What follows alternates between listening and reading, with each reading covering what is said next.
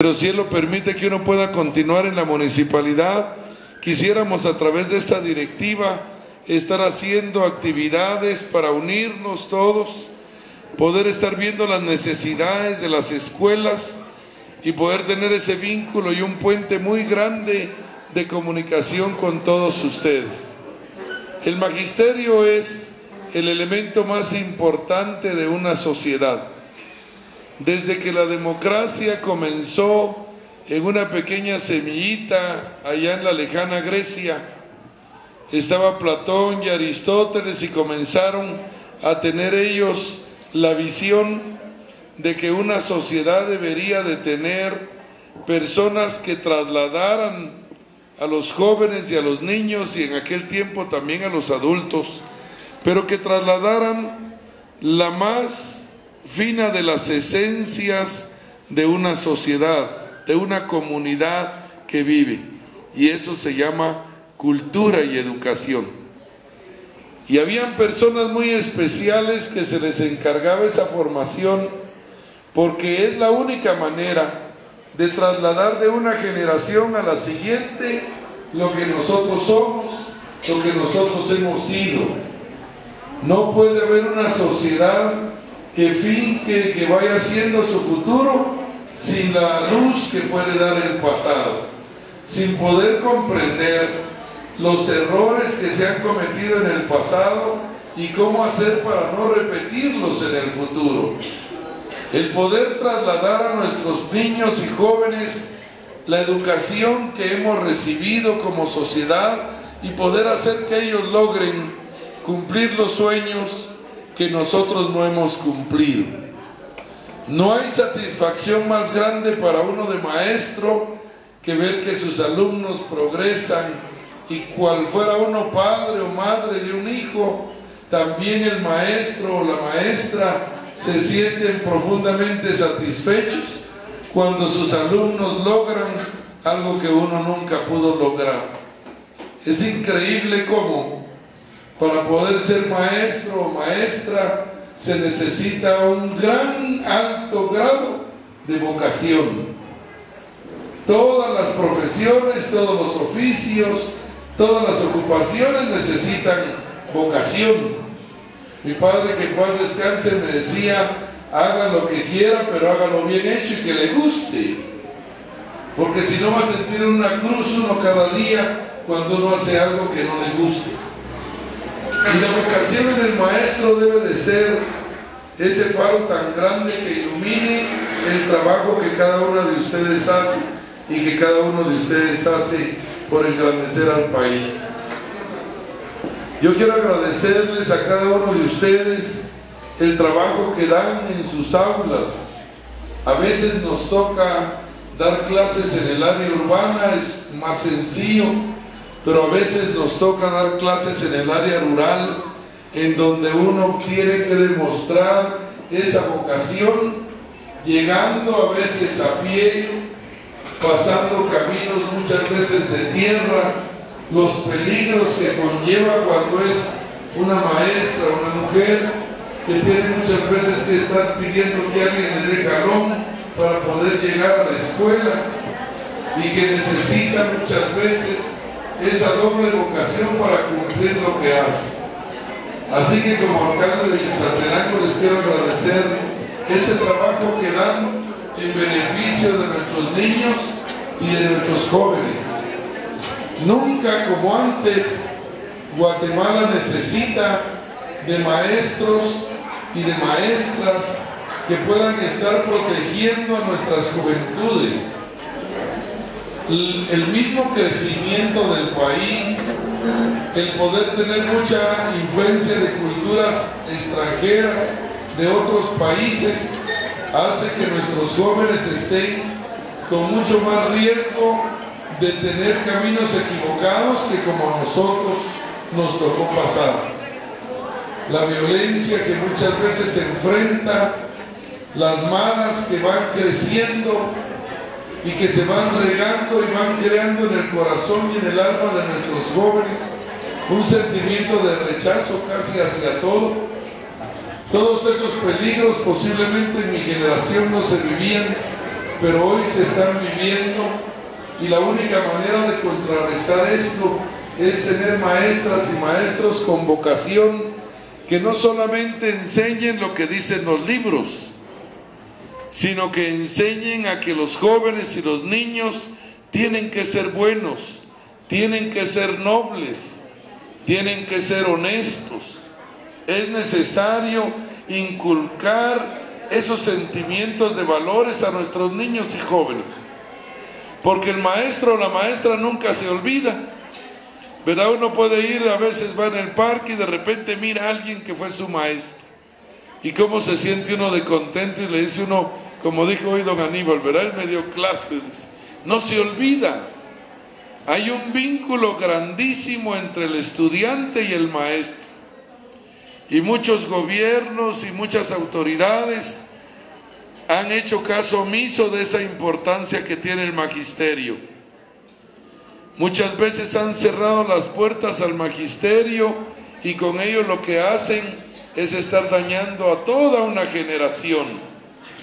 Los maestros tendrían que ser los funcionarios con mayor incentivo, los empleados públicos que puedan tener las mejores prerrogativas, porque muchas veces otros oficios, otras profesiones tienen incluso salarios más elevados que el que tienen nuestros maestros y maestras. Cuando todo el desarrollo del país está sujeto al trabajo de nuestros maestros y maestras. Quien no ve que el único camino que tiene Guatemala para poder salir adelante es la educación, está viviendo en otro país. La educación es el único camino que nos puede abrir como una llave la puerta a un desarrollo más justo y a un desarrollo más sostenible y a un desarrollo integral de las personas. Guatemala tiene la gran bendición de ser un país plural. Somos un país con 23 idiomas, somos un país con 23 etnias, somos un país que está, que es un mosaico de culturas y de visiones. Y eso no lo tiene casi ningún país en el mundo. La naturaleza a Guatemala le regaló casi de 23 microclimas que hay en todo el mundo. Nosotros casi tenemos 18. En ningún país del mundo puede estar uno aquí y en media hora estar en un clima cálido o en la costa en tan poco tiempo. Hay países que están en, puro invierno y si quieren ir a una playa para poder tomar el sol, tendrán que montarse en un avión para ir o pasear no sé cuántas horas para poder llegar. Si hubiera un paraíso seríamos nosotros. Pero desgraciadamente hemos tenido estructuras que han sido muy injustas y precisamente algo que se ha excluido a nuestros jóvenes y niños de toda Guatemala ha sido la educación. En una premisa equivocada, porque es equivocada, que se tomó hace muchísimos años en Guatemala, que decía, ¿para qué vamos a educar al pueblo? Porque se va a dar cuenta de sus derechos. Así decían, dos o tres generaciones atrás. Hoy estamos pagando ese precio. Ese precio de no creer que la educación es el único camino para poder salir adelante. Por eso me siento muy alegre y contento de estar compartiendo con ustedes. Y yo comprendo también que tenemos que crear vínculos más estrechos de, de amistad, de colaboración. Hay un dicho que es muy cierto que dice, nunca llores solo, dice porque siempre habrá alguien que pueda apoyar. Y aún con las precariedades que a veces tiene la municipalidad, se han hecho los esfuerzos para hacer aquella aula en donde no cabían los estudiantes o para poder estar trabajando en cómo poder comprar un terreno para una escuela, muchas veces a plazos. Hemos estado tocando puertas y gracias a Dios las puertas se nos han abierto en muchos lados.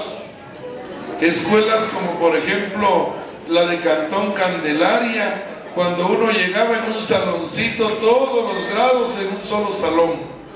Hoy tienen una bella escuela de dos niveles. En Bellavista, por allá por las Majadas, nos prestaba la iglesia el lugar para poder estar recibiendo clases. En Choquialto, la iglesia nos prestaba la escuela y ahí en la iglesia estudiaban nuestros niños hace cinco o seis años y hoy tienen una escuela.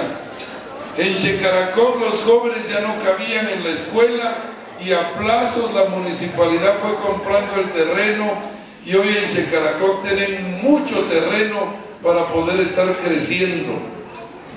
La República de Holanda, por ejemplo, esa escuela que está en la cuchilla, ya no cabían los niños, nosotros les compramos un terreno a la par, el Japón les construyó las aulas y hoy está también diferente. Así como decía en San Bartolomé o en muchos lugares hemos hecho y trabajado por la educación aún con las precariedades que se tienen. Sin embargo, nuestro compromiso es firme.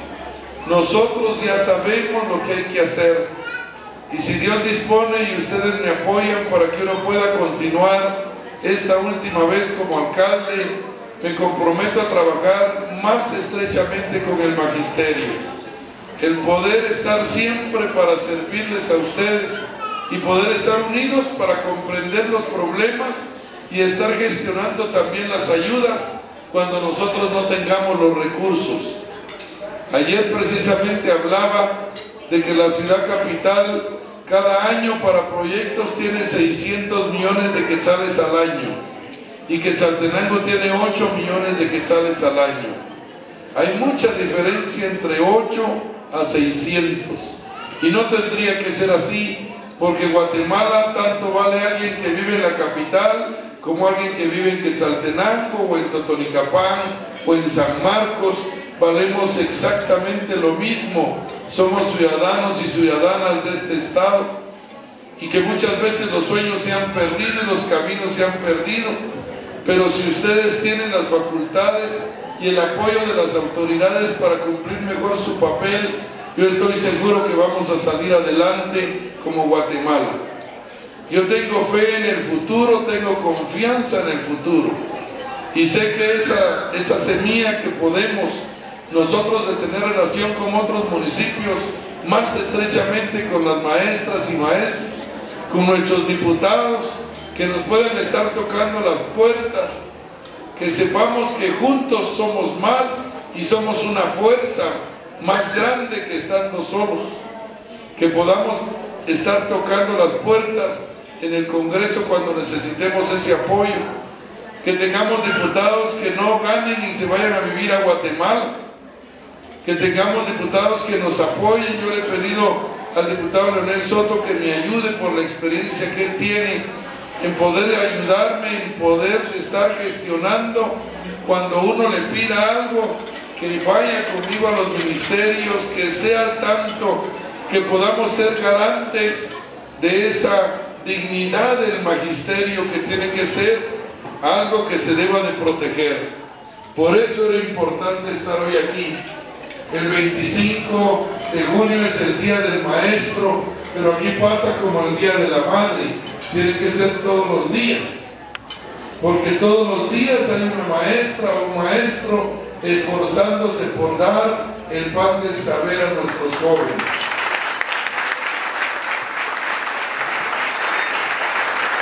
Y por eso, por eso estamos contentos de que ustedes hayan aceptado esta invitación.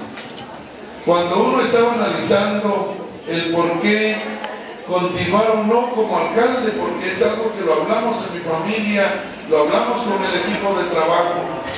Y ustedes como maestros tienen también y saben perfectamente que todo es un proceso y que muchas veces para culminar procesos se necesita tiempo.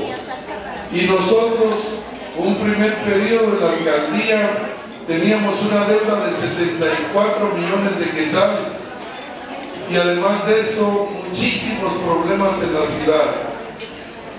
Han sido épocas difíciles, pero hemos ido avanzando y estamos muy cerca de poder cosechar muchos proyectos que están apenas iniciando y que en unos dos o tres años pueden ser una realidad.